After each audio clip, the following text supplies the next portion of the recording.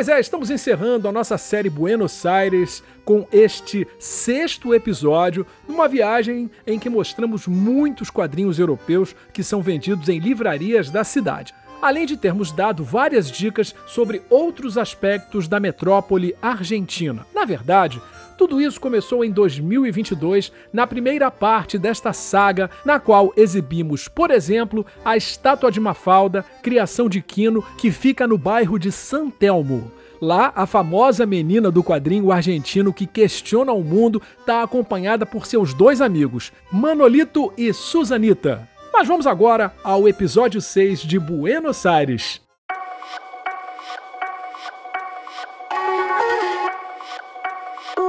Se você quer conhecer Buenos Aires de uma forma mais prática, pode fazer um city tour com ônibus da empresa Grey Line, que faz 24 paradas em pontos turísticos da cidade.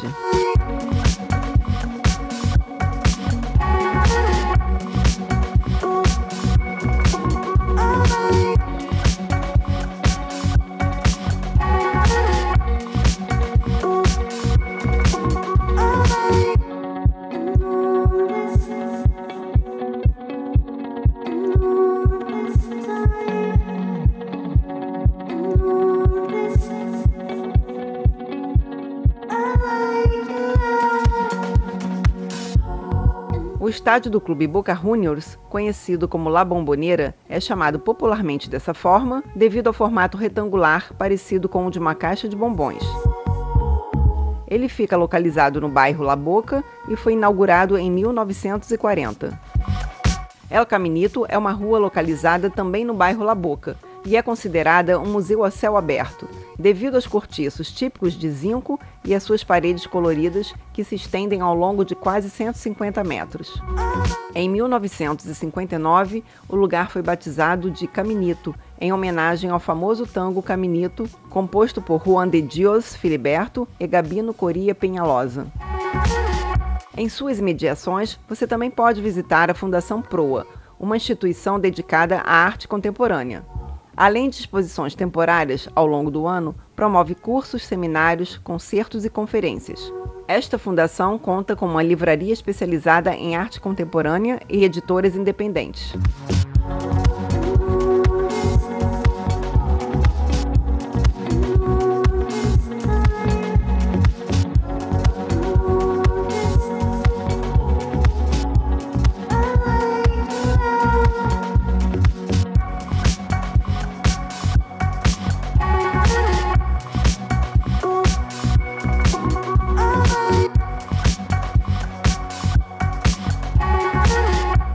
É o nosso queridinho.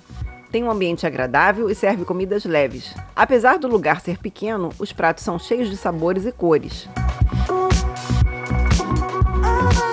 Dividimos esse wrap aí que você está vendo no cardápio.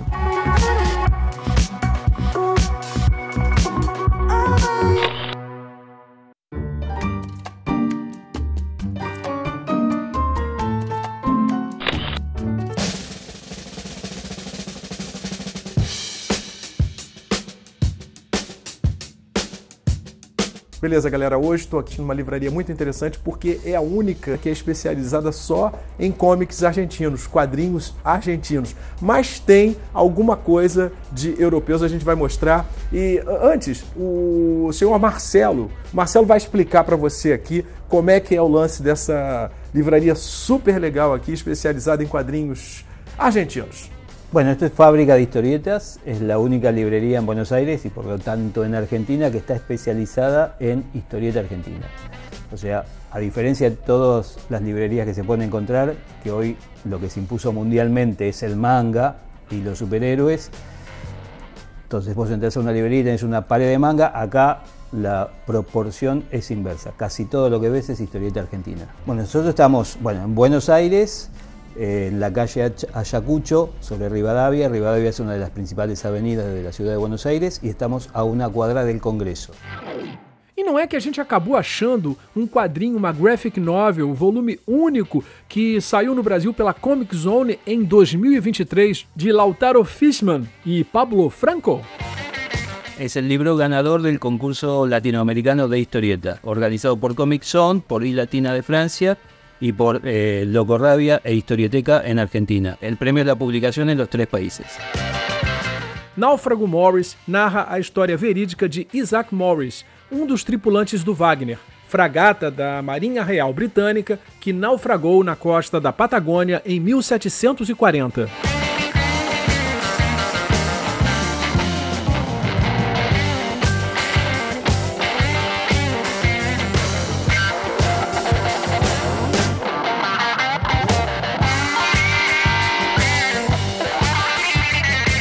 Pouquinho de europeu que a gente acha aqui. Uh, tem, por exemplo, ah, pequeno, olha aqui, Pequeno Vampiro do Johannes Farr. Isto aqui é fantástico. O Johannes Farr, que é o desenhista do Gato do Rabino. Isso aqui é maravilhoso. Eu tenho a impressão que tem no Brasil também. Uh, muito legal, cara, muito legal, muito legal. Essa daqui é da Oceano Travessia. Ó, Tituf, olha aí, interessante. Quer dizer, mesmo sendo uma uma livraria especializada em argentinos, você vai achar Snowgood, você vai achar Luke Luke, você vai achar Asterix. Então, é realmente muito interessante. Tem mais, ó.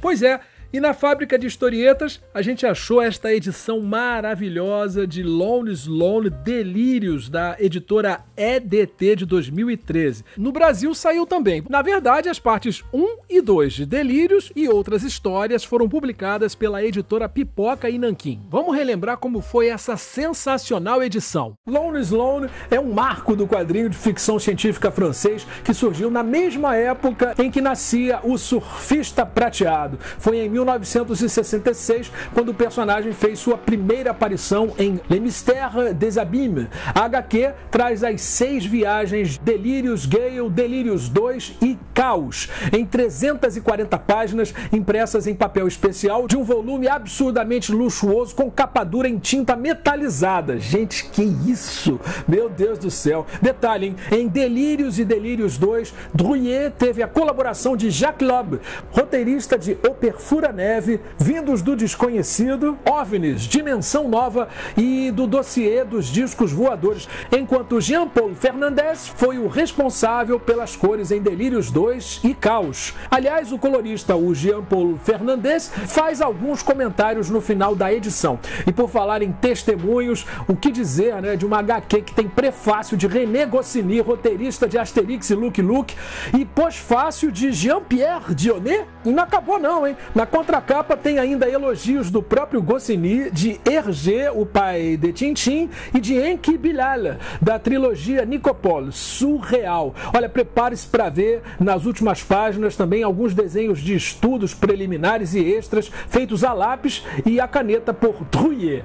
E o que chama atenção né, no trabalho dele, do Drouillet, é essa arte fantástica né, que ele tem, complexa, obcecada pelos detalhes, psicodélica, lisérgica e né, com uma diagramação de páginas bem diferentes do habitual e que, de certa forma, foi vanguardista para a época, criando uma forma de narrativa nada comum e oferecendo também uma maneira diferente de ler quadrinhos. É, o Drouillet simplesmente brincava com os balões, mudando o seu formato e também a sua posição. Em Lone tudo começa no ano 804 da Nova Era, quando os humanos resolvem expandir seu poder pelo universo. Lone um explorador solitário interestelar, está em seu foguete, aparentemente né, voltando de uma viagem de meses, quando perde o controle do veículo espacial, é, que é atingido por uma força misteriosa. Ele é retirado à força da nave e levado em um trono de pedra até uma cidade onde é recebido por sacerdotes malditos com máscaras de ferro. E esses seres querem usar o Lone para ressuscitar um deus maligno, o deus negro, que eles querem usar para escravizar o universo. Mas apenas uma palavra poderá mudar tudo e Lone Sloane se transforma num terráqueo cobiçado, dono de poderes místicos. Chega, chega, não conto mais nada. Prepare-se para uma saga cósmica com dragões e alienígenas, entre outras figuras bizarras em mundos super estranhos. Tudo foi criado ao longo de décadas por Drouillet, que é um visionário, né? Essas aqui são essas aqui são as argentinas. A gente está mostrando aqui para vocês, são exatamente as argentinas. Uruguaias? E tal, também alguma. Uruguaias? Olha aqui, a gente está aqui, olha, com um quadrinho uruguaio. E, e por acaso o guionista, o roteirista está aqui. Que é ele, gente. Atenção, olha só. O Silvio Galizzi, que é o autor desse quadrinho, está aqui com a gente. Bueno, mi nombre es Silvio Galizzi, soy guionista de Uruguay. Eh, tengo un personaje, eh, se llama Vlad Tepes, que lo mostró. Pero aparte he escrito algunas novelas históricas este, sobre la guerra del Paraguay, sobre la dictadura en Uruguay.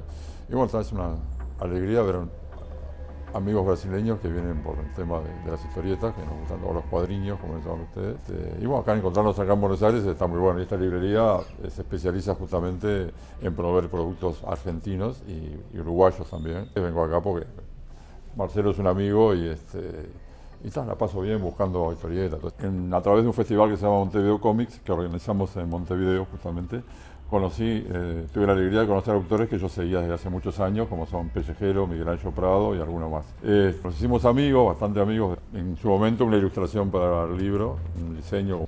Este es de Miguel Ángel Prado, Vlad Tepes, Miguel Ángel Prado. Y en este, dos años después, Rubén Pellejero y me hizo este.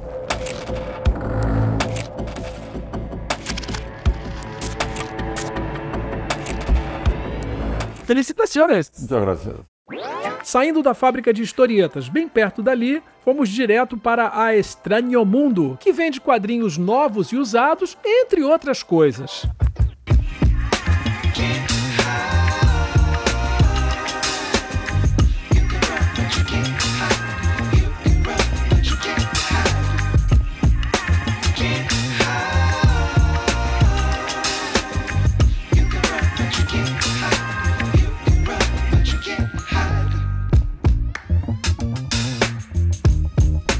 Olha aqui o 13. Carlos Jiménez. Druna. Tardy. Aqui, Jeremiah, Herman. Jeremiah é uma série belga em quadrinhos idealizada por Herman, o mesmo desenhista de Bernard Prince, sob roteiro de Greg. Curiosamente, surgiu em 1979 na revista alemã Zack. Depois, foi parar nas páginas da Metal Hurlan e Spirou.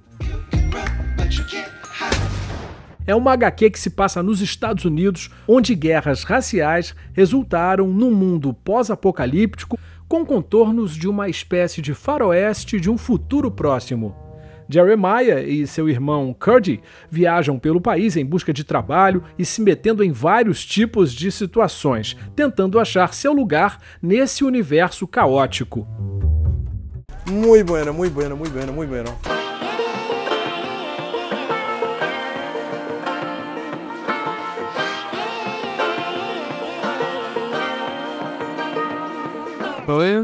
Última hacer muchas gracias. Gracias a ustedes, nuestro amigo y muchos más han venido al negocio. Así que mi más sincero agradecimiento. Por causa sua, por sua causa, PH, no Eurocomics, eu estou aqui conhecendo a primeira pisteria. Estou aqui ao lado do meu amigo Corto Maltese, talvez seja o meu personagem de bebê favorito. Obrigado pelas dicas, estou aqui na livraria por conta do seu canal. Muitas graças ou um bom e velho português. Obrigado. Olá pessoal, eu sou Marcelo Fontana, editor da Trem Fantasma. Quem aqui segue Eurocomics já ouviu falar da gente porque a gente publica algumas obras europeias, inclusive o Porto Maltese. Mas no nosso catálogo a gente tem também algumas obras argentinas. A gente tem o Fulum, a gente tem o Ninguém, a gente tem autores como Eduardo Risso, Alberto Brecha, é, Henrique Brecha e vários outros. Mas vou te dizer uma coisa. Passando aqui no canal Eurocomics, esses vídeos do PH lá na Argentina me fez me dar uma vontade danada de viajar, viu? Tem mais de 10 anos que eu não vou lá na Terra dos Irmãos, mas já estou programando pegar um avião aí e partir para lá. Graças ao PH, que me fez bater essa vontade forte, hein? Um abraço, PH. A gente se vê em Buenos Aires, hein? Comendo aquela parrila.